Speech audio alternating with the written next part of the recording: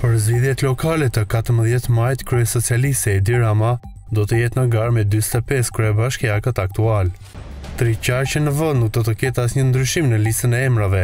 Tirana do të vijojë me pesë emrat që qeverisin bashkitë, po ashtu edhe bashkitë që përkasin në qarkun e Korçës dhe në qarkun Lezhë.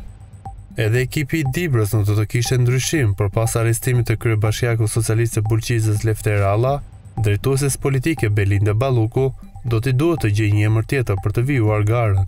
Më shumë se sa shpallja non grata e Dritan Lelit në Vlorë, interesante është pyetja se kë përfaqëson brenda socialistëve kandidatura e re.